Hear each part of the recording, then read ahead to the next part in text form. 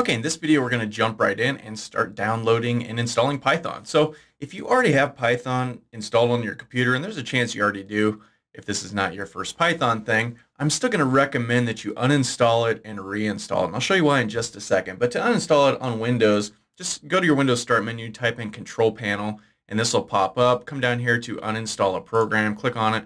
Just scroll down here till you find Python and double click it to uninstall it. So pretty simple.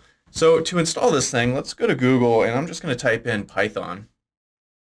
And you can see the first thing here is python.org, so we'll go there. And this is the official Python website. So we want to go to downloads here. And here's the button for Windows. If you're on Mac or Linux, you'll see the Mac or Linux button. But notice we're on version 3.7.4. Now, if this version number changes by the time you watch this course, no big deal. Just download the latest one. As long as it's not like 4 and above, as long as it's below 4, you'll be fine uh, major version updates are like the first number. So from 3 to 4, from 2 to 3. If it's somewhere in 3, you're fine. So I'm going to go ahead and click here to download. And we can save this anywhere. I'm just going to save it to my desktop. And I'm on Firefox, so my downloads appear up here on this little arrow. If you're on Chrome, they appear down here. Wherever it appears on your computer, just go ahead and click it when it finishes downloading. It's a pretty small file, so it shouldn't take very long. So we just click this to install it. And here's the installation. Now, this is why I want you to uninstall it and reinstall it. See down here, it says add Python 3.7 to path. This is unchecked by default. And this is very important. We want to make sure that this is checked so that Python gets added to our path. And what that means is, on a Windows computer at least, that you can run Python from anywhere on your computer. You don't have to be in the Python directory in order to run it. If we click this little box, that's so. We can run Python anywhere. But by default, for some reason, it's un unchecked, and it drives me crazy why that is, because you always want to add Python to Path. So make sure that's checked, and then come up here and just click uh, Install Now. And this doesn't take very long. And you'll notice it says 32-bit. Now, I'm on a 64-bit computer. Chances are you are too why are we downloading the 32-bit version? Why aren't we installing the 64-bit version? Well, the 32-bit version is the one you want. Uh, the 64-bit version is a little different, and there's some things in it that we don't really ever need or use but could cause problems.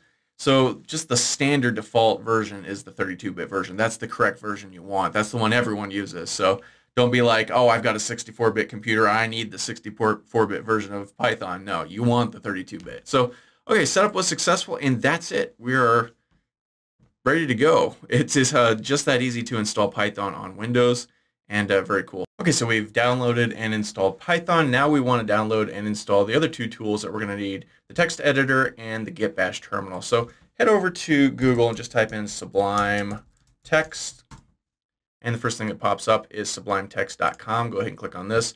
And this is our text editor. It's completely free. Now you can absolutely feel free to use any text editor that you want. If you already have one that you like to use, Visual Studio Code or um, I don't know, Notepad++, any real text editor at all, you can use that.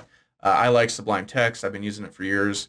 It's probably one of the most used text editors for coders, completely free and it's available for Windows, Linux, or Mac. So whatever kind of computer you have, you'll see the download button for that kind of computer. And you'll notice it's Sublime Text 3, build 3207. If these numbers change by the time you watch this video, no big deal. Just download the latest one. Doesn't really matter what version it is. So go ahead and click this, download it for Windows, and you can save this anywhere. I'm just going to save it to my desk desktop, right? Now, you could save it and when it finishes downloading, like I'm on Firefox, so it's downloading up here. If you're on Chrome, again, it'll be down there.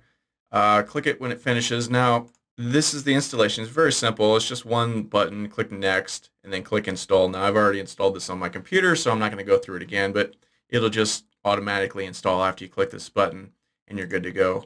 So I'm just going to cancel out of this. Now, to run Sublime Text, just click on your Windows Start menu, type in Sublime, and it'll pop up. Kind of looks like this. We'll get into all of this later on, uh, but that's all there is to it. Now, we also need a terminal, something to run our commands on. So I like the Git Bash terminal. Now, if you're on Windows, Windows comes with a command terminal, a command prompt.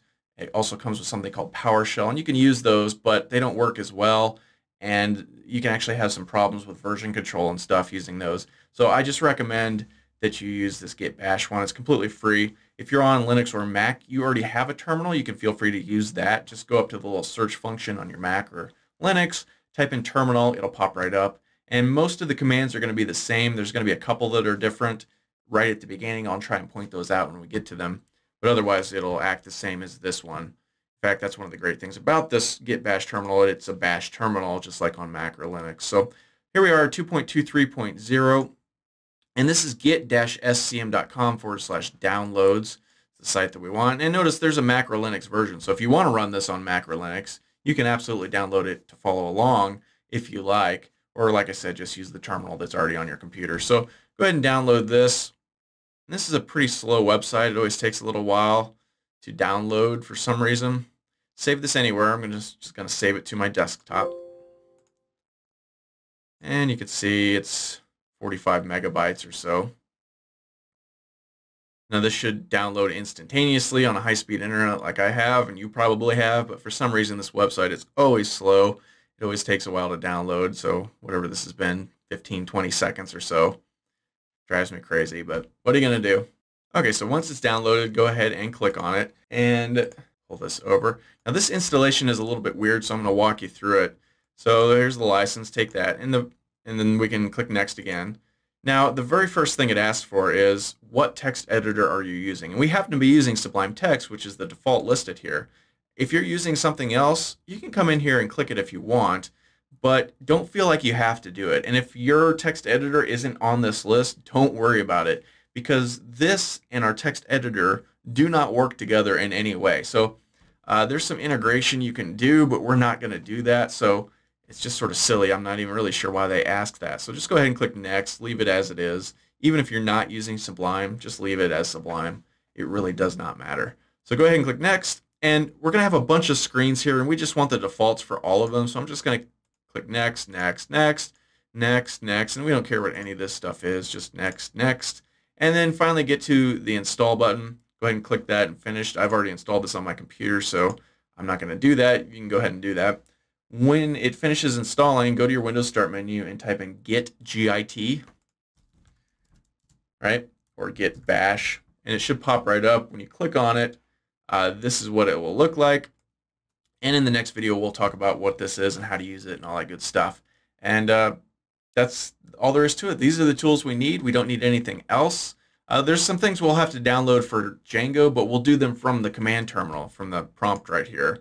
So there's nothing like we have to go to a website and download and install from now on. We have all the tools that we need.